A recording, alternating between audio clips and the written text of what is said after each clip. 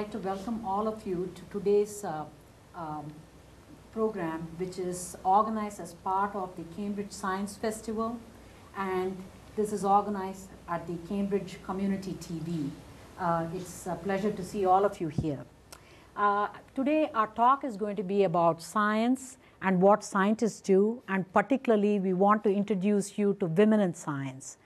And if you sort of look at what is science, science is about discovery, science is about knowledge, science is about organizing data. Science is, means a lot of things to a lot of people. And basically, what we are looking at is what, what do scientists want or what do scientists do? Scientists are motivated by curiosity, they feel passionate about something, and they also want to serve humanity. And that's what science is all about in our perspective. And you're going to meet four exciting women. One of them is me. And we are going to talk about our lines of research and our work and what is it that makes us what we are and what we do for our living and what we feel passionate about. I also want to talk a little bit more about science in the sense that science has a particular method in which, our scientists have a particular method in which they go about collecting data. They follow what is called a scientific method. So they have to gather information, they have to have hypotheses, they have to test models, and instinctively you are trying to find solutions. And some of these solutions, of course, have great benefits for mankind. And all of the examples that we're going to show you today is all about how does it benefit society. Because you and I ultimately are the society, and we would like to know what science can do for us. So scientists sort of discover new things. They discover new drugs. They cure illness. Uh, they look at the earth. They look at global warming. Uh, they look at the impact on disappearance or appearance of fish. They look at exciting new worlds, like the discovery of a new Earth-like uh, planet someplace. So all of this together, in a nutshell, describes to you the excitement that's involved in science and why we as scientists feel so happy to be scientists, you know, in many ways. So I want to talk about each one of us in terms of a little preview of what is to come in our talks. I'd like to introduce you to um, Irena Bosch, who's sitting next to me, and her commitment is to finding a cure for a disease. And she's looking at a dengue fever. And as many of you know, there's a resurgence of this disease, and much of this resurgence is caused because of um, you know, the way humans sort of habitate the world in today's world. I mean, we live in marginal areas. Uh, there's global warming, as many of you know. Mosquitoes sort of breed in different areas than they did before. And so, what is the connection? The connection is the impact of man or you know, our activity, human activity on the Earth's surface. And she's interested more at looking at illness and disease vectors in particular. And if you take a different perspective on science and slightly change the focus and look at the earth, I'm interested in oceans and marine organisms. And in particular, I'm interested in coral reefs. And when you begin to look at coral reefs, you see the disappearance uh, of many of the corals. Corals are being bleached, corals are dying. What is it that is causing these massive disturbances in the ocean? Not all of us have the pleasure of going underwater and looking at these corals, but let me tell you that there's a lot that's going on underneath the ocean surface. And in this particular venture, I'm joined by many, many different sciences. So I want to sort of emphasize that science is about collaboration. ecologists are interested, climatologists are interested, and spatial scientists like myself are interested in modeling the impact. And in the end, it is the human societies that have to be involved in this kind of venture. Because we as scientists can say, this is a model, this is our prediction. But people have to participate in this model and decision making and carry the science back into their society to create what's called sustainable environment. So we really need people's participation. And that's my emphasis. Magaly Koch, who's sitting on the other side, is interested in water. And as many of you know, the Earth's population at this point in time is about 6.4 billion as people sort of, as the population explodes and as people begin to look for ways of getting to water, which is the most basic thing that we need for our existence, there is not much surface water left, especially in arid and semi-arid environments. And Magaly's research is to use technology and a lot of different sensors to get to this question of water. And the last scientist who's on the panel is looking upwards at skies, and she's motivated by curiosity. And she's um, interested in finding uh, gravitational, how gravitational energy release from matter uh, falling onto a neutron star or black hole is the most efficient way that we know to extract energy from matter. And it's common throughout the universe. And she's going to explain her research and her paradigm um, to you. So we hope to bring and transmit and transform the knowledge of what we have to you and share with us, or share with you our passion for science. And in the end, it's the service of humanity that's the most motivating factor for most of us. Thank you.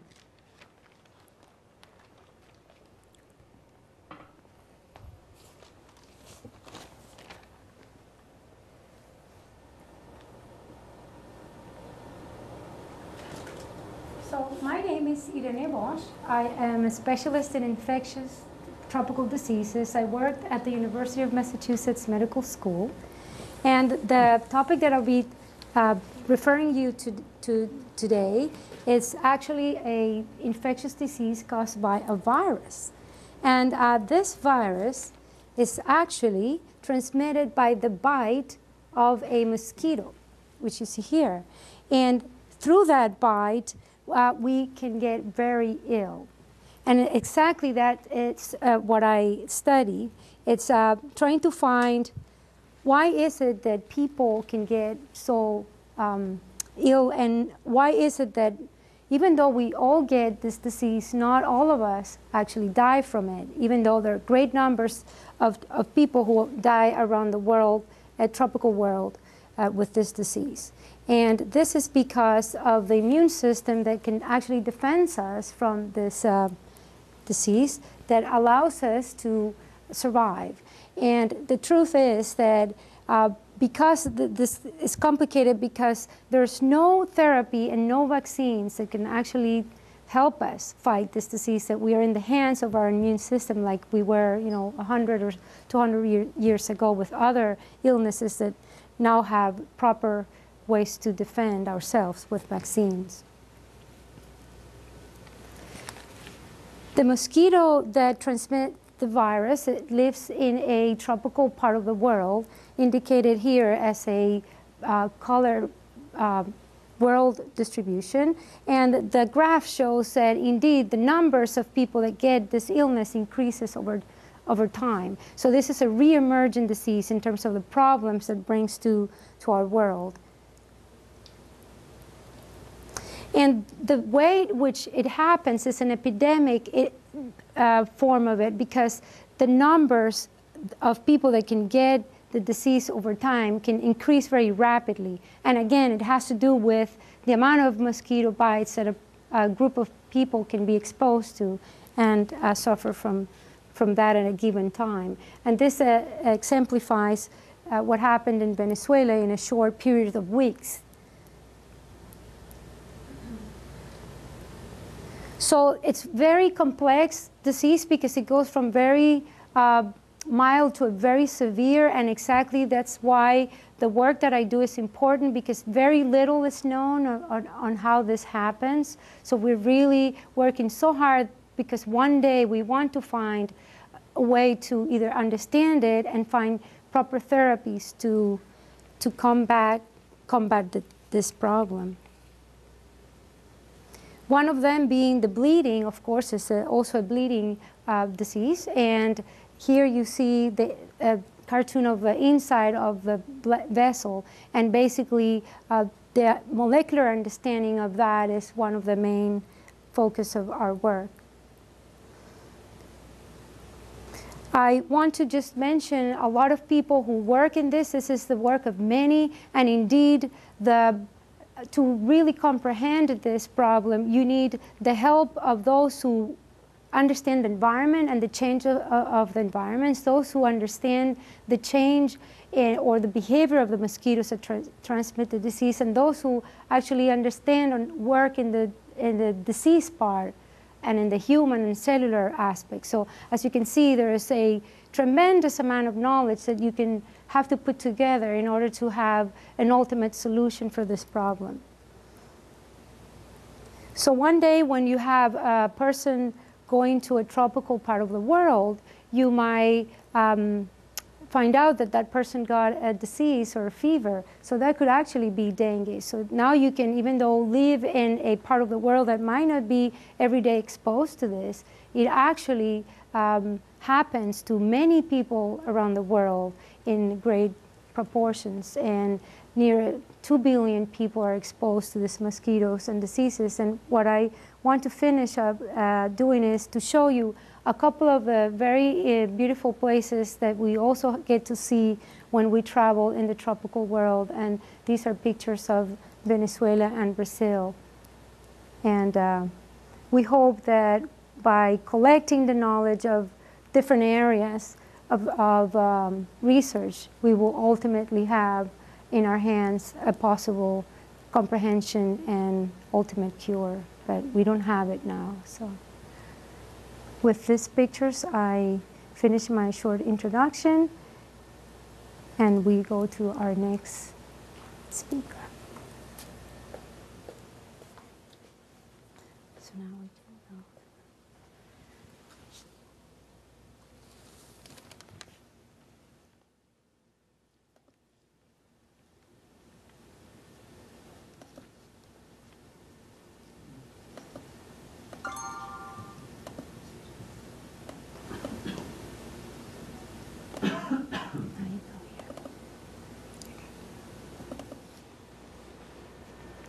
So the title of my talk, which is to do with uh, marine biology, as I already told you, is the eternal triangle, which means that there are a lot of different sciences uh, that are involved in solving this problem.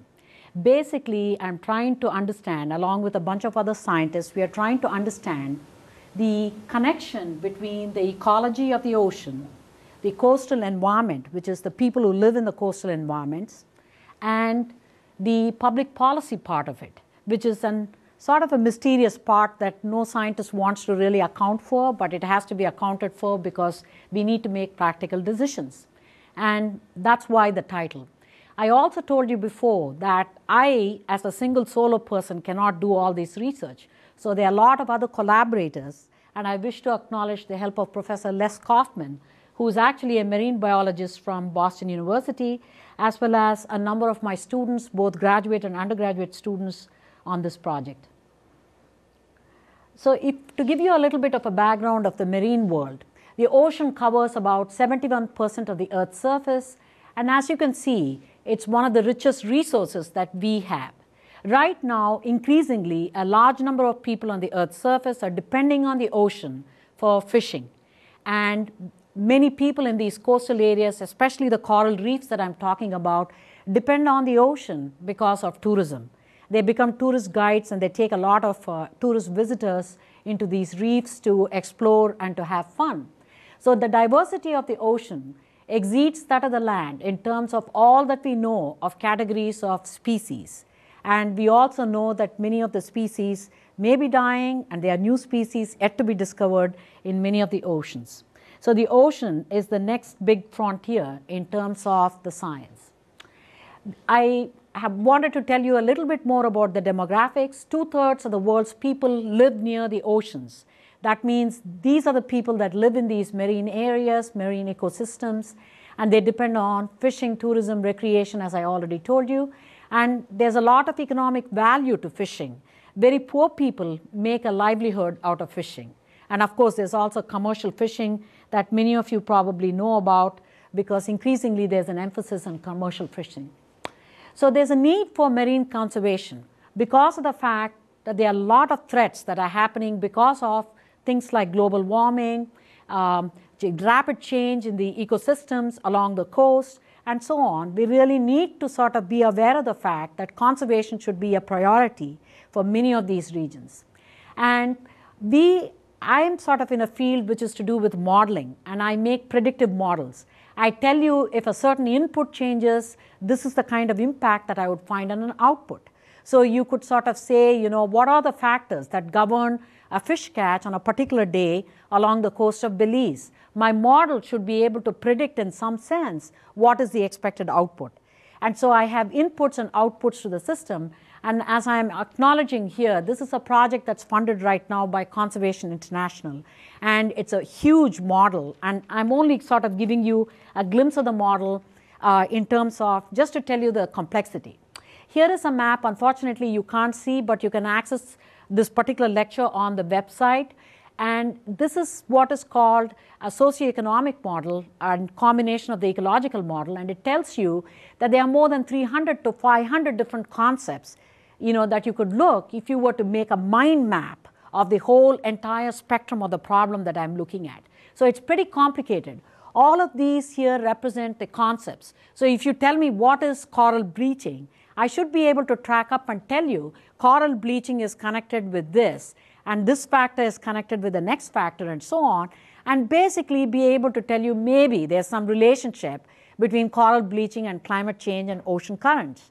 And there are a lot of unknowns, there are a lot of knowns. And this mapping kind of tells me where exactly should I focus on? What is the unknown? What is the known? and how do I proceed with my science? And what kind of scientist do I need? Do I need an economist? Do I need a social scientist? Do I need an ecologist? I should be able to do that with this mind mapping. Unfortunately, you don't see the interactivity, the whole map moves, and it's like your brain in action. Let me tell you that.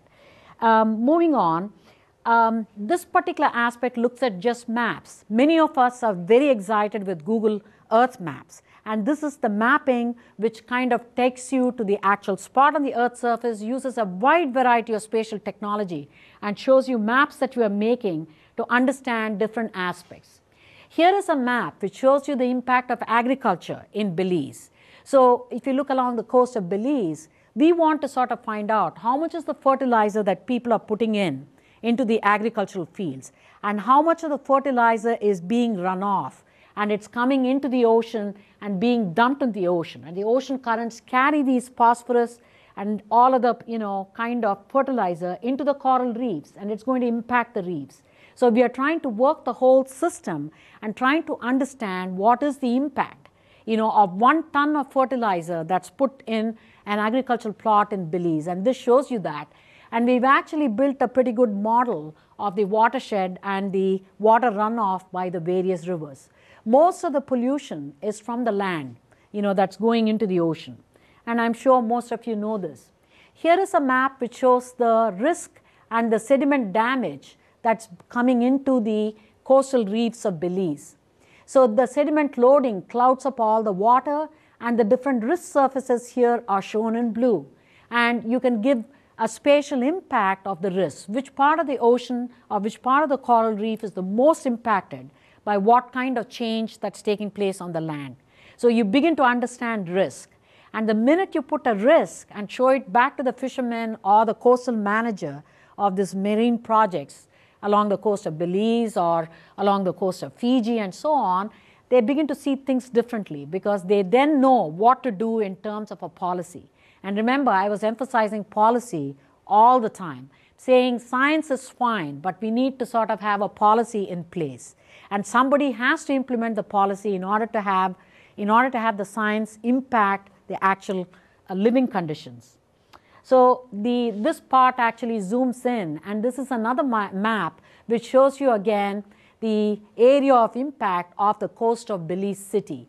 And you again begin to appreciate the power of the maps maps are like a medium of communication so the minute I show you the map everything changes I could have told you this in 10 sentences but you know, a picture is worth a thousand words, and that's what I want to show you here. And we are also building these so-called decision tools for the manager in the ground. Ultimately, this project that's funded by Conservation International is interested in giving a tool to the managers. So our model is sort of programmed in what's called Java. So any manager can come in and input a bunch of factors. And this part of the screen will light up and show the manager the so-called you know, independent variables. What's the amount of fish that I catch? You know, what is the amount of risk that I'm carrying into the ocean surface?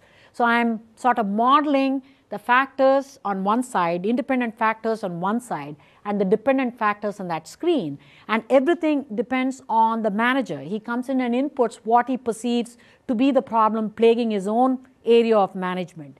And on this screen, the manager begins to see the map.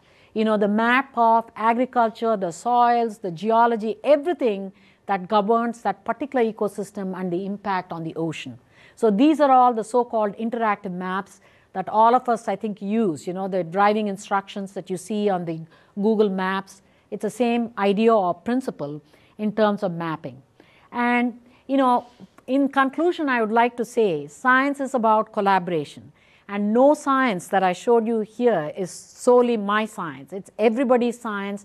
There are like literally hundreds of scientists working in this particular area of marine conservation, which has been recognized to be one of the most critical things in terms of preservation. And a lot of coastal communities depend on fishing and depend on these coral reefs. And we really need to make sure that it is conserved not for our generation, but for the future of these young people sitting over here. Thank you so much.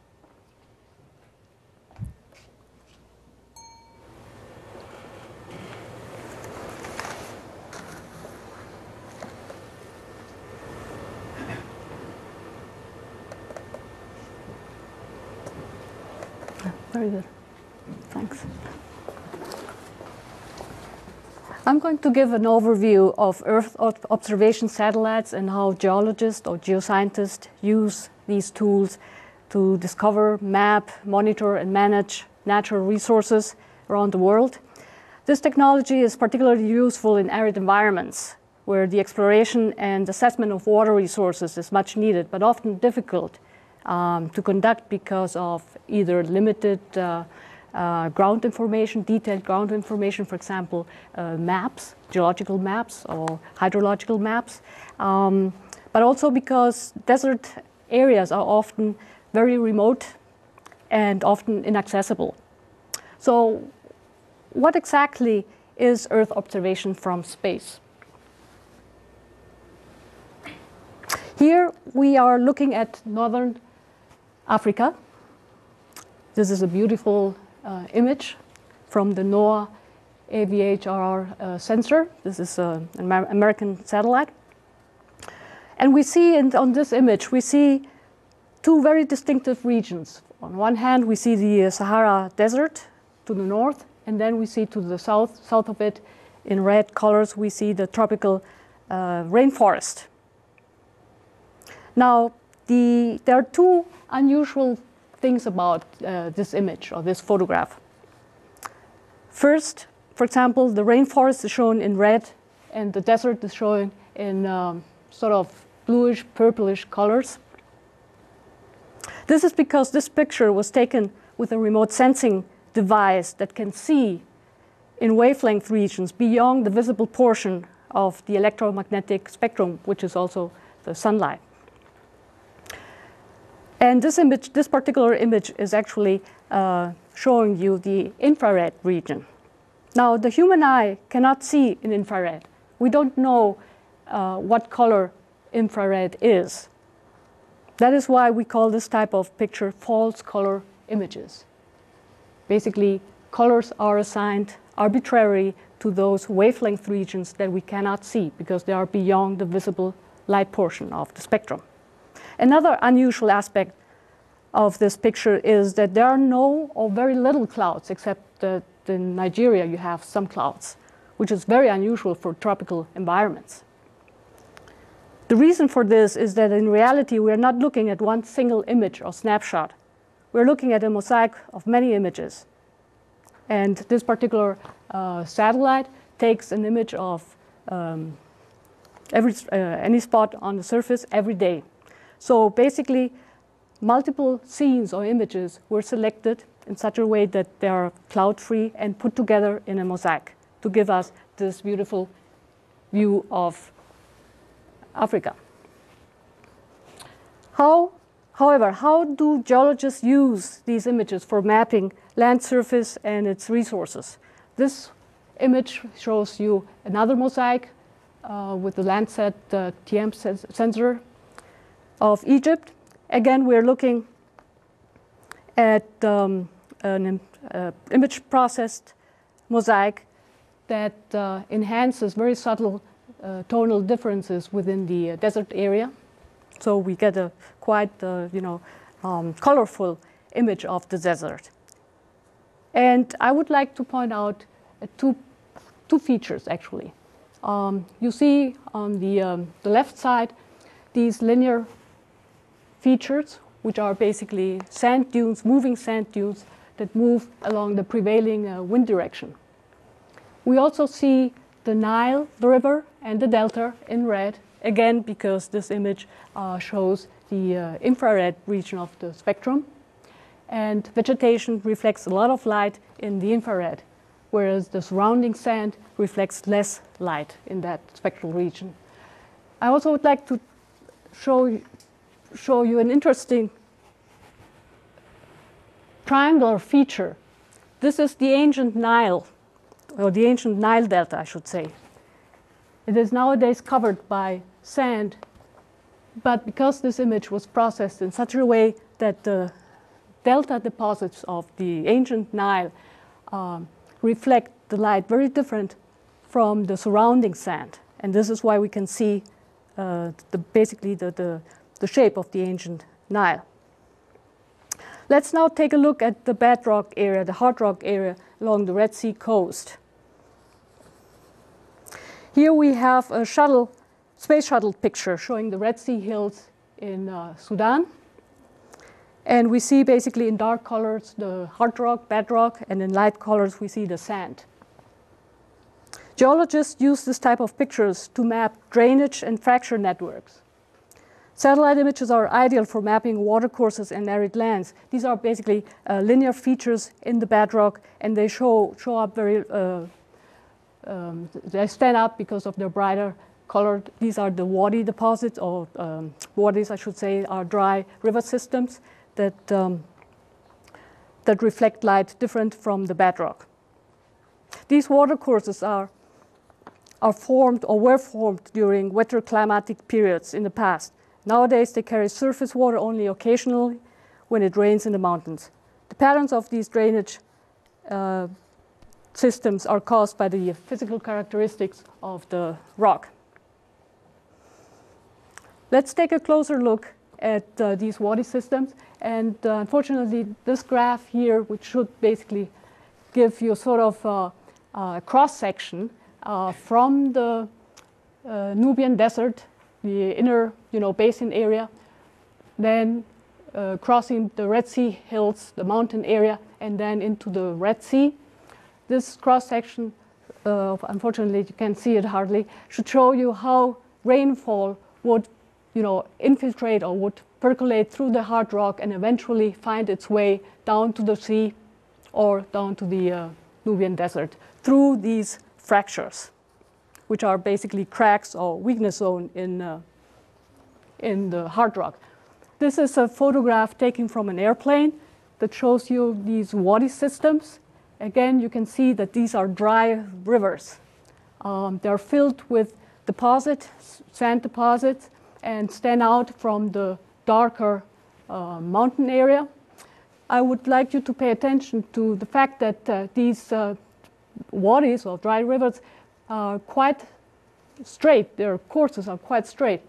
This is an indication for geologists that they actually are controlled by fracture systems. And these fractures, cracks in the rock, are very important for groundwater to accumulate and, um, and to be transmitted basically uh, uh, downhill.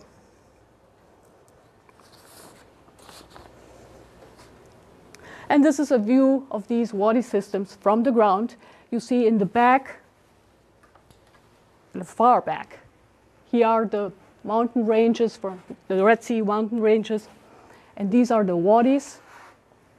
And what you see basically are the alluvial fans.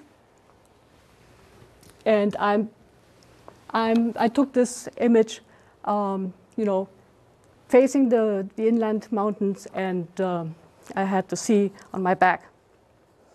Now, I want to say just a few words about these wadis and wadi networks um, and their importance in, uh, in um, providing water. Wadi networks collect water from va vast surface area in the mountain. And when the rainwater from the mountain tops is confined in these channels, flash floods may occur. Now, flash floods can be very destructive, and uh, not many people uh, know that actually fewer people die in the deserts, uh, you know, from thirst, and they actually die, or uh, when that happens, they die from flash flood, flash flood uh, waters. And finally, let me show you a three-dimensional view of a satellite image that shows two of these wadis. Um, this is a false color picture taken with an Aster image from the Terra satellite. And it has been manipulated in such a way that distinctive rock units appear in, uh, you know, in, very, in a very colorful manner. Uh, geologists can use this type of images to actually create a geological map and to also map these um, uh, water courses. Now, not only geologists, but also archaeologists are interested in studying the landscape in, uh, in arid environments because in this case, an ancient port was located right at the mouth of one of these wadis. This flag here indicates the location of an archaeological site. Now this is a Landsat TM image that was enhanced again with a computer in such a way that the individual rock types show up very clearly. And not only that, but you can also see features along the, the, the coast, for example, the coral reefs, and these darker features turned out to be playa lakes, ancient lakes. Uh, it is uh, believed that uh, the ancient people were able to survive in this harsh environment because flash flood would, you know, um, occasionally fill these lakes, and that was their source of fresh water. So geologists can use this type of images to understand how surface and subsurface water move from the recharge so zone in the mountains down to the discharge zone in coastal areas. Water is a very precious resource in arid lands and need to be used and managed in a sustainable way. And with this, I finish my presentation.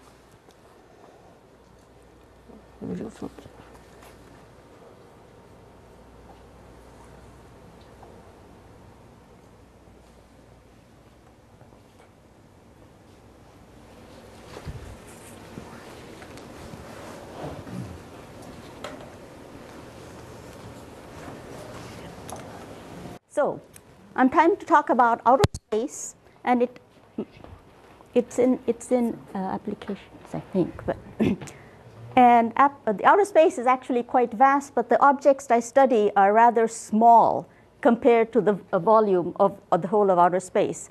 And the objects I'll be talking to you about are X-ray binaries and planetary nebulae. These are two very different beasts, but it turns out they both share something in common, what astronomers call the endpoints of stellar evolution. These are compact objects, which are white dwarfs, neutron stars, and black holes. And these are actually formed when normal stars die.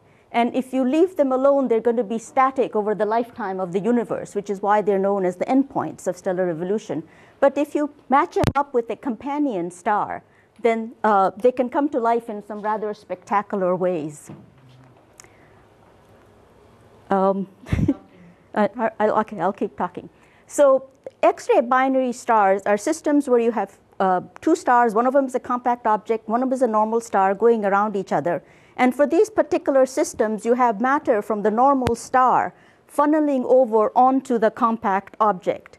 Now, when that compact object is a white dwarf, it's not normally called an X-ray binary. This is because those systems emit most of their light in the optical.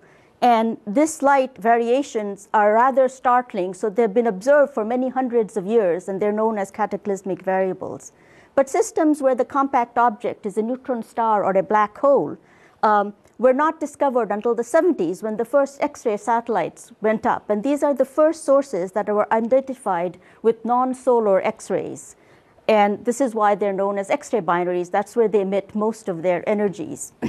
now, as matter falls from a normal star onto a compact object, because the two objects are rotating about each other, the matter can't fall directly onto the other object. That object itself is rotating. So what it does, it, it spirals in, forming what we call an accretion disk.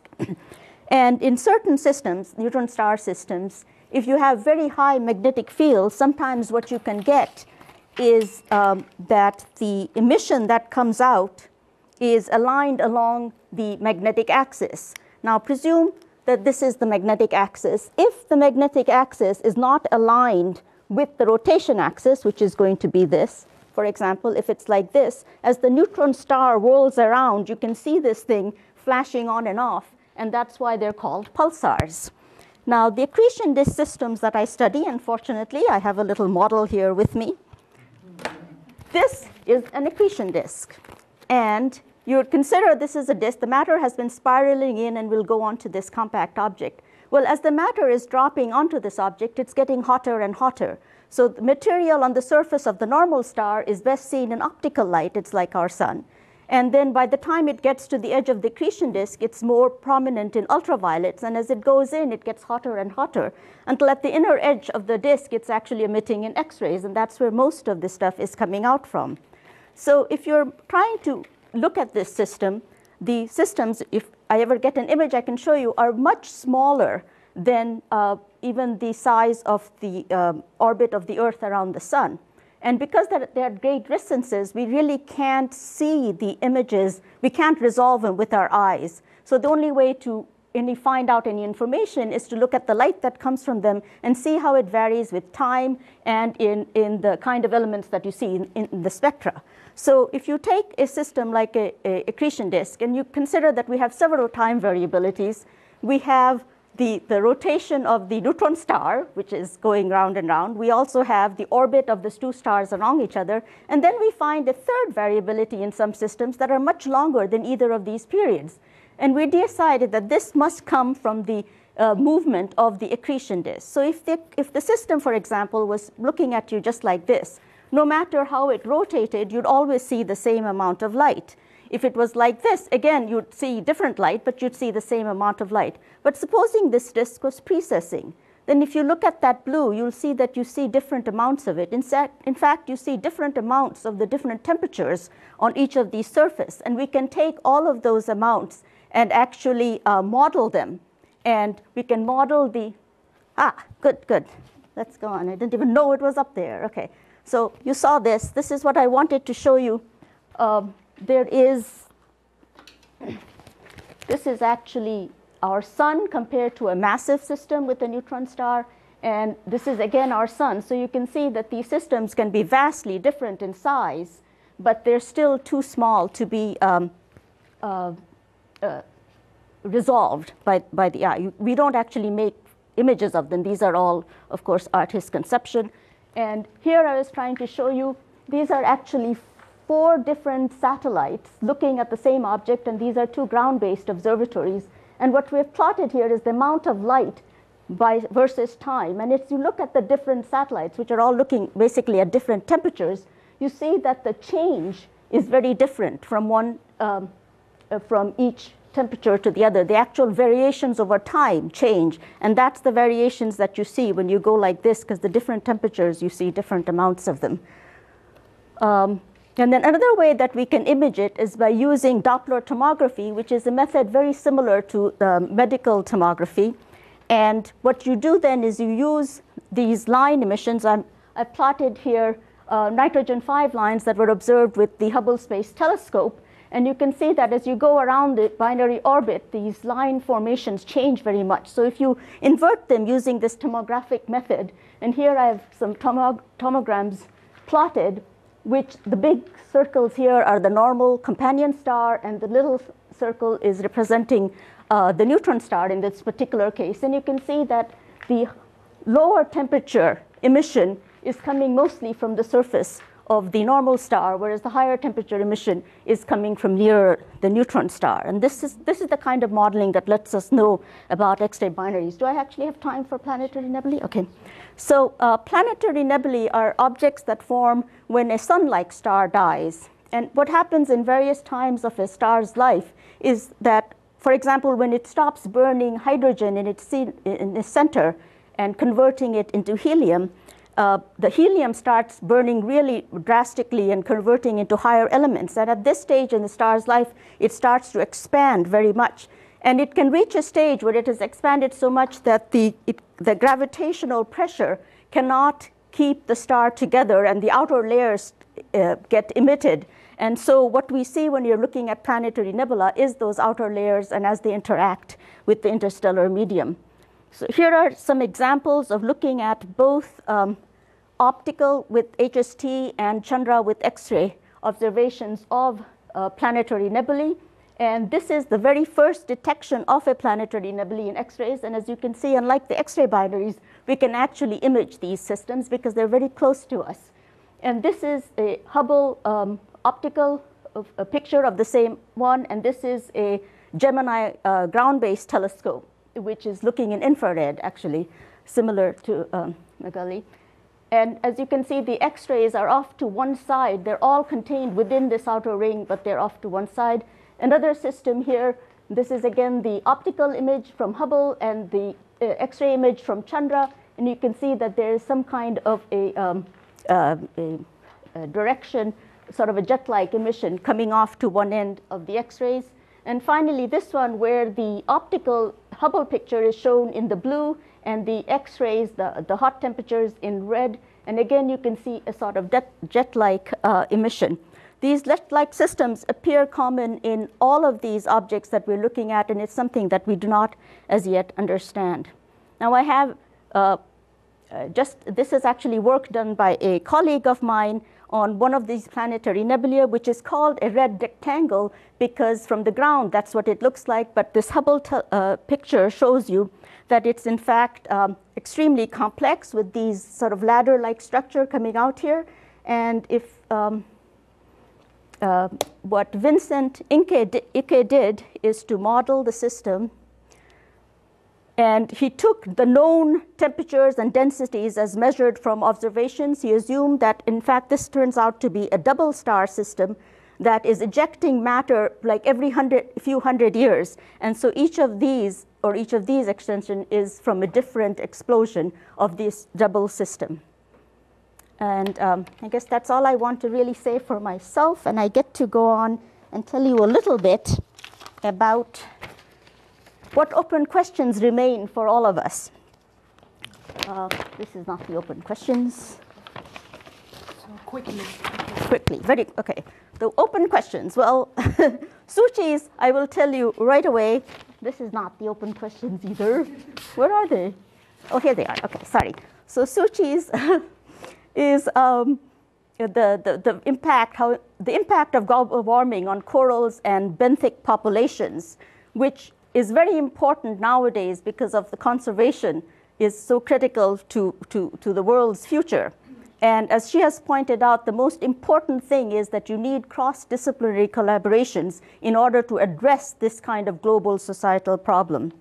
As Magaly pointed out, to help the arid lands of this world, new untapped groundwater resources need to be identified and explored.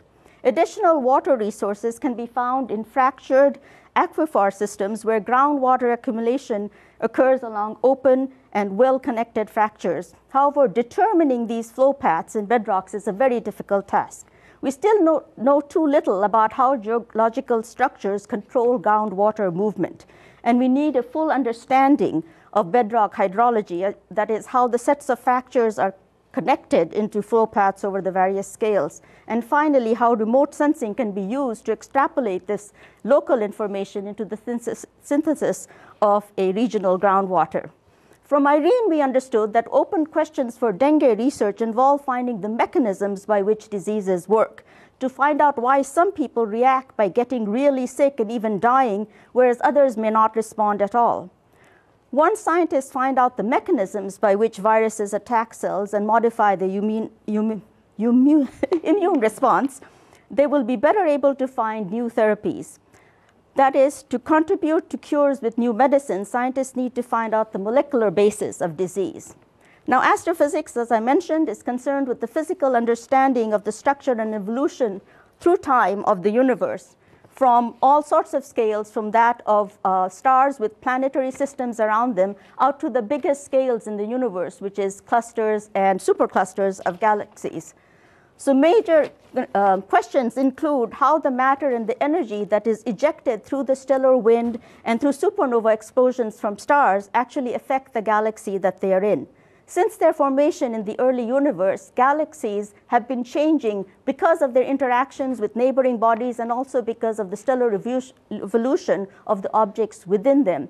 And we do not have a very good understanding of how the very different types of galaxies we see are actually constructed. And of course, on the larger scale, although we have some reason for confidence in the overall picture, the Big Bang, uh, most of the matter that is detected by its gravitational interaction is dark matter, which is some unknown kind of form um, um, material that we do not know what it actually is. And in fact, the majority of the density of the universe is even more mysterious than that, the so called dark energy, which I'm sure you've heard about. And until we fully understand both the small and the large scales of the universe, we'll never be able to really either predict the future or find out what happened in the past within our universe. So, are there any questions? There's a microphone in the center if anybody dares to come up and speak. We have lots of questions, so we hope you have some too, and your questions may help us address some of our issues. Yes, Have, have there been any cases of dengue fever reported in the United States? Or is it- Excuse me, go to the microphone. Could you go? Okay, could, could you go to the microphone at the center? Mhm. And Irene, you're going to have to handle that. So the question is, have there been any cases?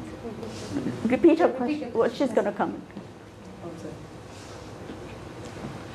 Ha- Have there been any cases of dengue fever reported in the United States? Yes, uh, dengue fever has been uh, centuries back, 1800s, 1900s, uh, present in the North American continent and in actual times as well. And we're talking about, of course, the warm parts where the Aedes aegypti reproduces. This is Texas, as well as outbreaks in Hawaii. So the answer is yes, United States uh, does have outbreaks. The magnitude of those outbreaks in the United States are very small in comparison to those in Asia and South America, Central America, and the Caribbean, due to the um, very strict controls of mosquitoes in the warm areas of the United States.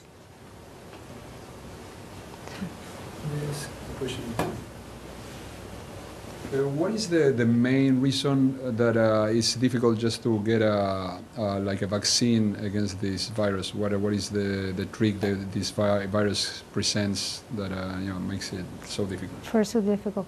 Uh, as you may know, there had been a very successful uh, stories about vaccination, polio, and uh, smallpox, of course. So why not to s- extrapolate that to, let's say, another disease, uh, even yellow fever, which is a sister uh, virus to dengue, and the, the the lack of enough effort put into from the scientific community will be one of them.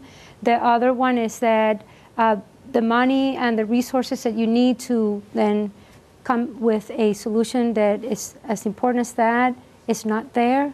So we we need to emphasize that more help from the scientific uh, world has to come to make this a possibility. And the third one, which is more uh, you know, biologically, uh, if you wish, is because dengue in itself is an immunological disease, and it's very complicated because it turns out that you're actually more in danger if you have a second bite with a second virus. There are four viruses, so you have to make sure you do a pentavalent vaccination. So, and uh, we can get other questions. Thank you.